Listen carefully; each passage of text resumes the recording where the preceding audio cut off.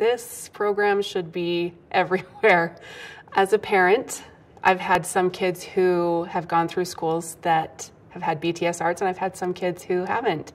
And the difference in their school experience, um, when I ask them, you know, what was your favorite part of the day?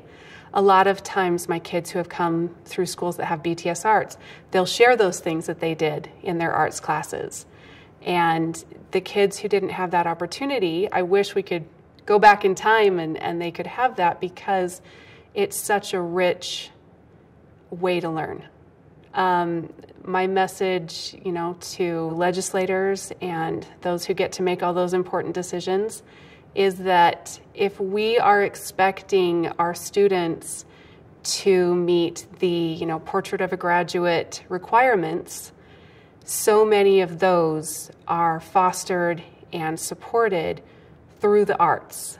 So we need to make sure that all of our students have that opportunity, not just those lucky few who have BTS arts at their schools.